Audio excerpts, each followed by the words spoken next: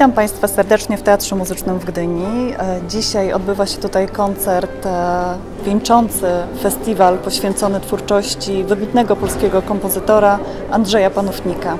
Jest to wydarzenie organizowane w setną rocznicę jego urodzin e, pod patronatem Ministerstwa Kultury i Dziedzictwa Narodowego oraz prezydenta Gdyni Wojciecha Szczurka.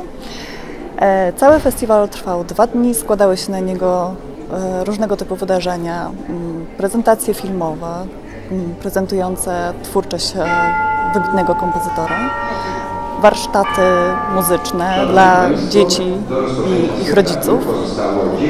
E, Odbywały się tutaj również e, kon- e, koncerty, na które mieliśmy szansę zaprosić Państwa e, wczoraj. Bardzo wyjątkowy koncert e, Neokwartet. E, No i cóż, dzisiaj wie, wieczór e, wieńczący niemal roczne przygotowania.